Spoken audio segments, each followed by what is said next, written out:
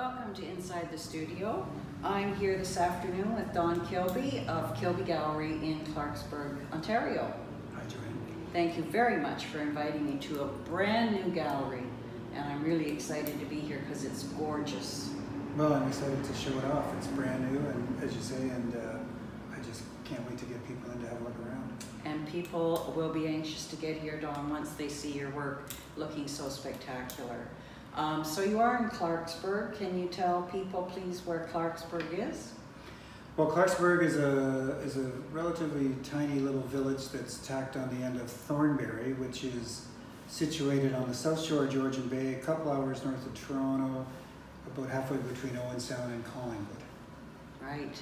And so uh, Clarksburg is a little bit of a destination, or it can be, for day trippers and for people that are visiting in the area, Collingwood or whatever. Um, it's a wonderful, simple drive to come over here. There's several galleries in the community. How many are there?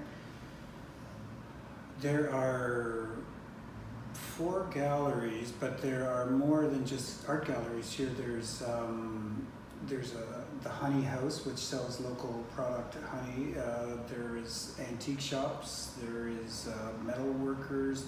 There's a one-of-a-kind hardware store you'll never see uh, like anything else like it. Um, so yeah, there's a variety, as well as a beautiful setting. The Beaver River runs right through the, the village, and it's a, it's a wonderful place to spend an afternoon.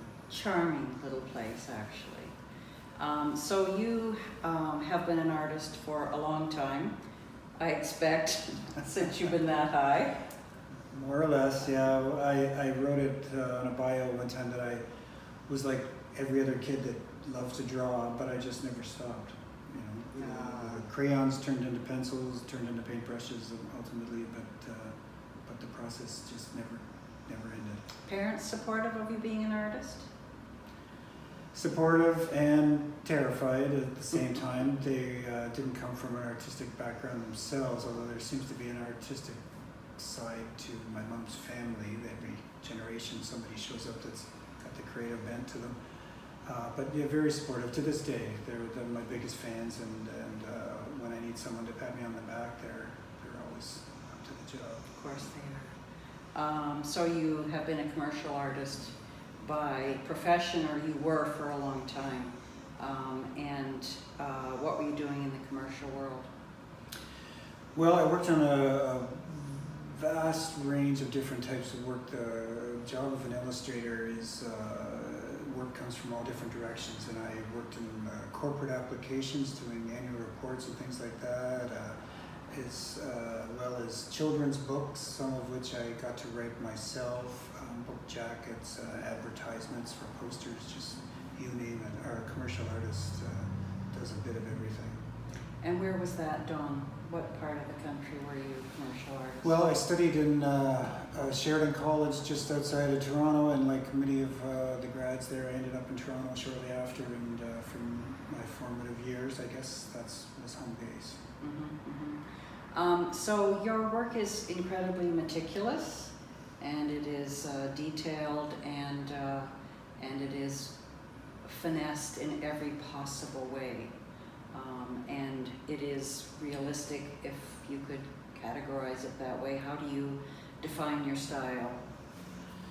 Well, I, have used the term painterly realism. I, I, definitely am a realist painter, um, but there's obvious painterly elements in there that I strive to to maintain and to to be represented in the in the work. And uh, in truth, uh, the style of painting that I do goes back to the time of Leonardo da Vinci and before. So it's just um, trying to capture uh, a real sense of whatever it is you're painting in, in as much um, detail and authenticity as possible. And uh, representational and, and, realistically based, but not, um, you know, uh, solely focused on, on a photographic like reproduction. But I, I am playing up certain elements and I'm knocking back other ones in a you know uh, the same way that, that classical painters have been doing forever sort of a thing. So it, it to me is an evolution of,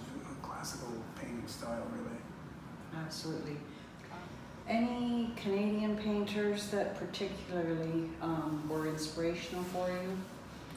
Well, there's many, although um, my favorite painters, uh, it's hard to call anybody a favorite, but uh, I, am a huge fan of Tom Thomson's work. I, I'm often flipping open my books on the group of seven in general just for, for um, a little pump up and, and uh, it just gets me excited about being an artist again. I, I I love to get down to Kleinburg and visit the McMichael Gallery or the AGO and get a my tanks filled with enthusiasm again and seeing that work and, and our styles are different but but there's all kinds of, of clues I can take from those pieces and how to make my own work better.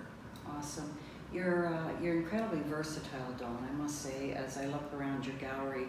Um, there are many different interpretations of what you love best. Certainly um, the, the countryscapes, the, the barns that dot the uh, Ontario landscape are prominent in your work, um, as are the beautiful winter scenes that you have so eloquently captured um, the snow on falling bridges and barns and so on. Um, we need to talk about this piece behind us, Don, which is utterly spectacular. It is a 32 inch by 80 inch painting, Don. And um, can you tell us a little bit about it, Cabin in the Green? What, what was your inspiration for this painting?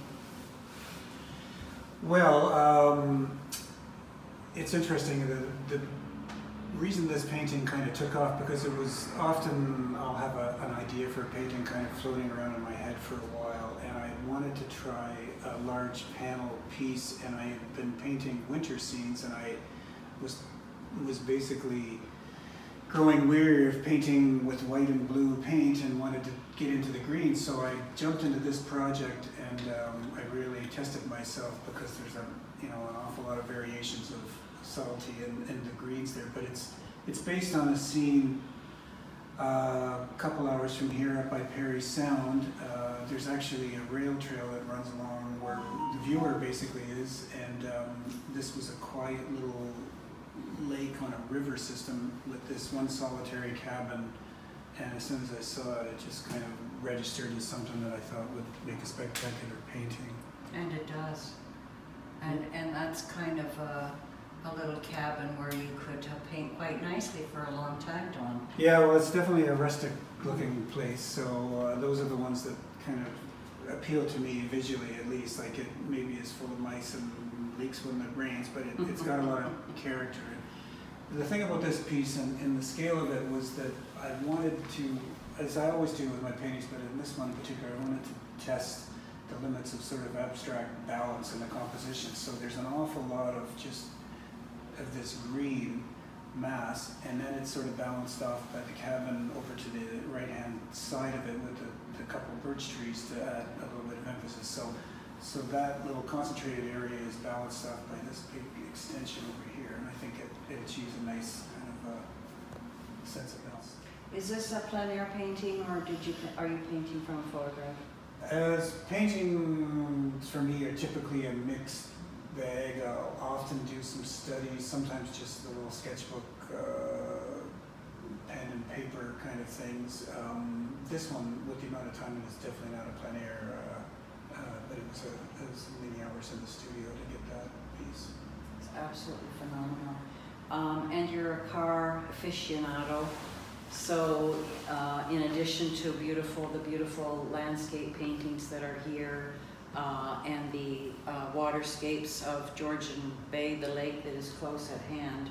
Um, you also paint fantastic cars, so um, you do commissions for for people that have higher end cars. Well, I do commissions uh, for any and all sorts. So it could be someone's um, home farm, it could be uh, someone's uh, favorite horse, but definitely cars are something I enjoy um, painting as well as just being around. Uh, I'm, I'm picky on what appeals to me, so some beautiful vintage kind of cars are what I favor, and on my I don't have any really in the gallery at this present time, although there are some new ones underway. But on the website, you can see uh, some of the classic cars like um, Mercedes convertible from the 50s or Jaguar E types, things like that, that are just pieces of art themselves. Those are, are what really inspire me to, to want to make them a painting. Commission work to me is, is almost going back to being a, a commercial artist in that somebody has got an idea sometimes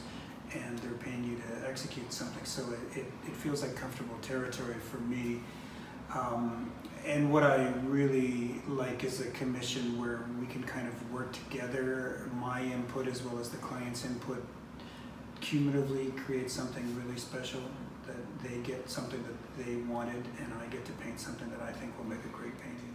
Really exciting, really beautiful, colorful, elegant uh, works of art, really. Thank you. Um, so your gallery is open from Friday to Sunday from 12 to 5 or by uh, appointment or by chance? That's right. I, I have my home studio just up the road basically, so I'm usually pretty close uh, to, uh, to being able to pop in here if somebody comes along at the early part of the week.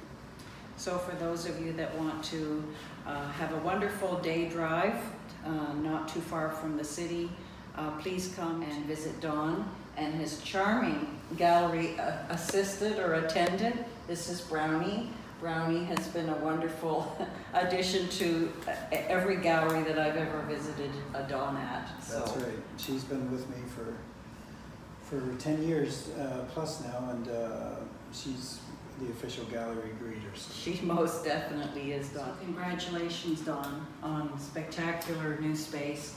I hope that uh, you can come and visit Don in Clarksburg. Um, it's it's a beautiful gallery and it's a it is a fine art gallery. So Don's work um, is perhaps uh, some exquisite work that you may not see in some of the other galleries that you visited. But I do hope you have a chance to come to Clarksburg and uh, meet Don. He's a charming kind of a guy. And um, and uh, come and support the gallery and support the artists in Clarksburg as well. So thank you for joining us this afternoon and we'll see you soon.